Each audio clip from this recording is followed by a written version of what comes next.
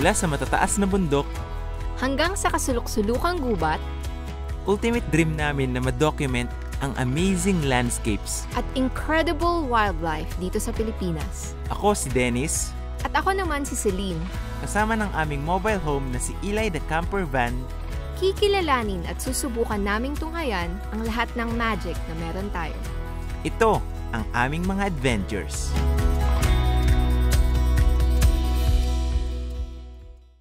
Welcome to another episode of Wildlife Wednesday.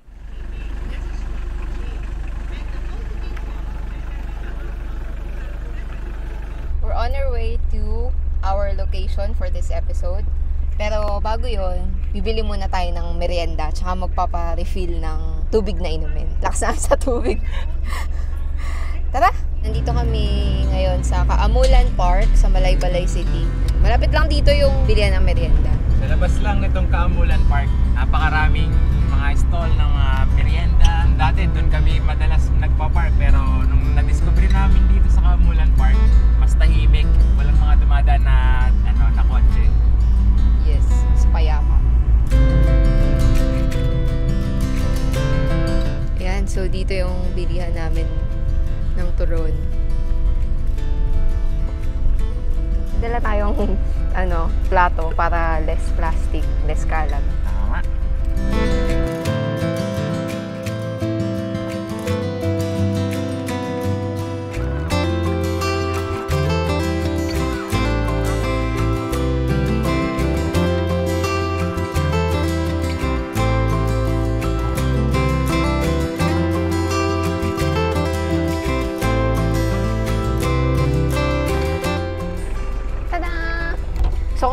Bumibili-bili dito kasi nag, napapractice yung Bisaya ko. okay, next stop. Ah, refill ng tubig. Correct. Let's go.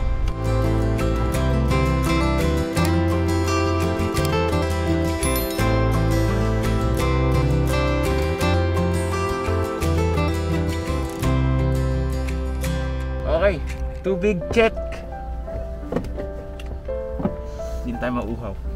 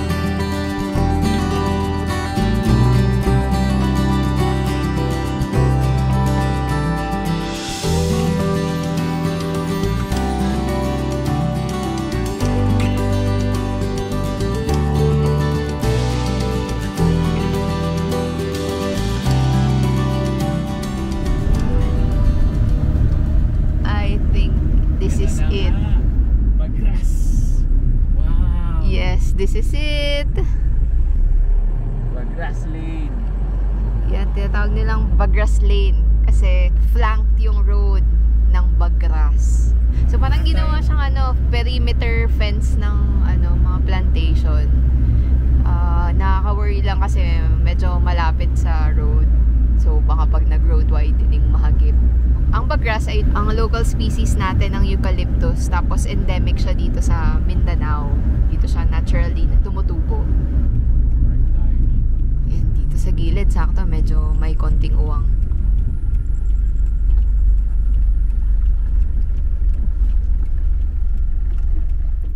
Ayos, wala pang mga 15 minutes. Yan, buti, tama yung mga instincts natin sa pagliko-liko. Kaya nga, dami kasing likuan din eh. Explore natin, ang ganda. Ganda, ganda. kunin muna natin ang ating gear. Yan, maglalakad-lakad muna tayo. Tingnan muna natin kung saan banda yung pinaka-okay. Ingat lang tayo kasi talagang sobrang malapit siya sa road. Yan, nakita tayo ng magandang specimen. Oh, specimen. And ito, itong bagras na to, bigger siya compared to the rest. Tapos, kitang-kita yung distinguishing mark niya, which is yung kanyang trunk. Ako mapapansin nyo, parang rainbow yung trunk niya, iba-iba yung kulay. May nickname siya na Rainbow Tree. Yan. Okay, tapos ako, si Ranga ang gagamitin ko. Paliparan natin to habang magpipicture si Celine ng bagras na to. Let's go!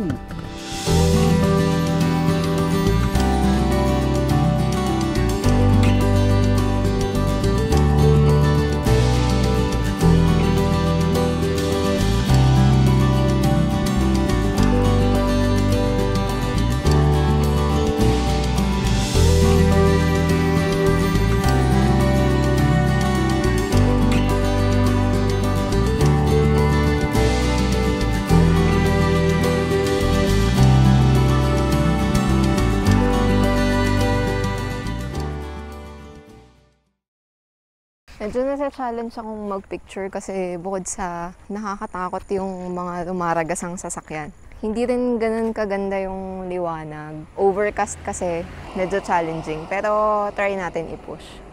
So ito yung flower or buds nung bagras. Tapos ito yung kanyang leaf. Ingat kayo pagka bibili kayo ng mga rainbow eucalyptus na seedlings or puno kasi merong mga species na exotic, usually coming from Australia. So, the indicator kung yung nakuha niyong seedling ay yung local species natin ng eucalyptus na may scientific, scientific name na Eucalyptus deglupta, yun yung bagras, ay may kita sa dahon. Ang dahon ng bagras, tapat-tapat yung pair ng, ng dahon. So, yan yung isang indicator na the seedling that you have is Eucalyptus deglupta o yung bagras. Ang saya kasi kita din natin yung buds and flowers niya. Ito, ganito naman yung itsura ng kanyang flowers.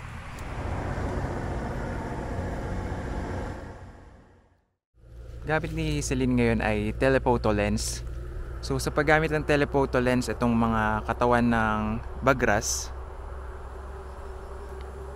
mas mako-compress natin. So yung pag-itan nila, katulad nito, nakita yung mga hindi bagras, mas mako-compress siya. Lalo na pagka zoom pa dito sa area lang na to, mawawala itong mga pag-itan nila. So napaganda. Medyo mahirap lang dito mag-shoot kasi along the road tayo. So, dapat talaga doble ingat at may taga-tingin sa paligid habang nag-shoot. So, ako ang taga-tingin. Listen. Okay. Shoot ka lang, shoot ka lang. ang ganda, grabe. Ganda nung katawan ng bagras eh. Ang rainbow eh. No? Oo, rainbow tree. Sabi ko nga sa kanila kanina, isa sa nickname ng bagras ay rainbow tree.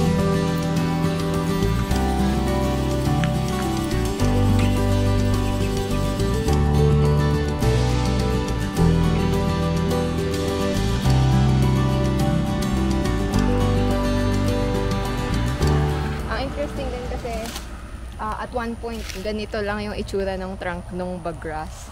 Tapos pagka punta tayo sa gilid, yan, nagsisimula na niyang palitawin ng kanyang rainbow trunk. So, nababakbak din siya. Oh. Pagka nabakbak siya, militaw yung ganda niya. So, ito yung kaninang nakita natin, yung unang puno na pinuntahan natin.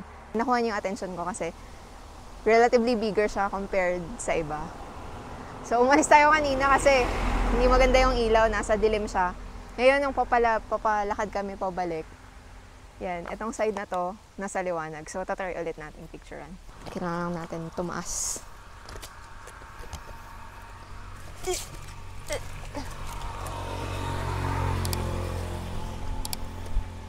Yan, ganda ng patterns niya. Ganda mo.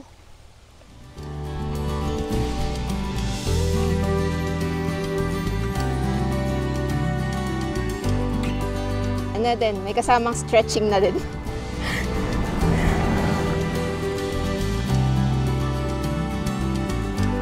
back to Kaamulan Park.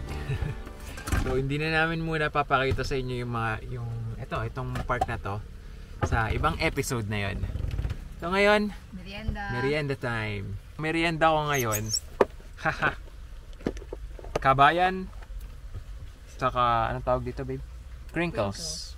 Yan no? Sarap. So naisip ko lang na kahit anong tagal pala natin sa isang lugar, no? Ang dami pa rin nating ano, parang mapapawaw pa rin tayo 3 months na kami dito eh. sa Malaybalay. Pero ito, siguro mga 6 minutes na drive lang yon Hindi naman, mga 10 minutes. 10 minutes. Mga ganun eh. Sa ano lang, sa diversion road lang ng Malaybalay. Napakaganda na agad ng tanawin na makikita natin. Ano, explore your own backyard, your own hometown. Truth. Kasi for sure, madami pa rin kayong madidiscover. For sure, dito sa Malaybalay, meron dyan, meron dyan nakatira dito, dito na pinanganak pero hindi pa rin nakikita yung ano na yan. Oo. Yan, bukas babalik kami doon para makita yung itsura niya in the morning. So malapit lang. Good morning, good morning, good morning! Morning! Yan, gaya ng sabi natin nung kahapon, nung kahapon. Gaya ng sabi ko kahapon, babalik tayo sa Bagras Lane ngayong umaga. Malapit na kami and excited akong makita kung ano itsura niya um, with the morning light. Let's go!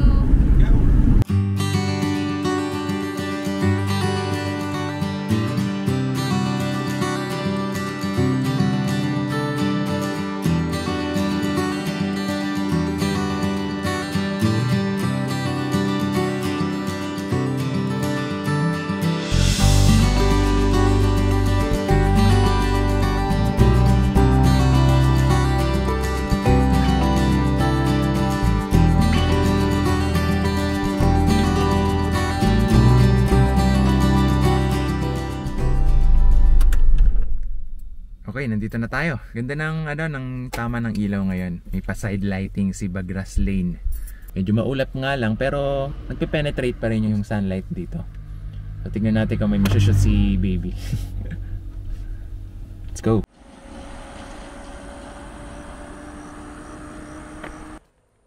Naglakad-lakad din ako sa buong Bagras Lane para makahanap ng magandang anggulo. Gusto ko rin kasi kuhaan yung mismong stretch. Ang ganda kasi talaga ng liwanag mission accomplished na picturean din natin yung bulaklak ng Bagras at saka yung mismong Bagras Lane. Thank you sa pagsama ulit sa amin ngayong episode na to and enjoy these photos. See you sa next episode. Bye! Bye!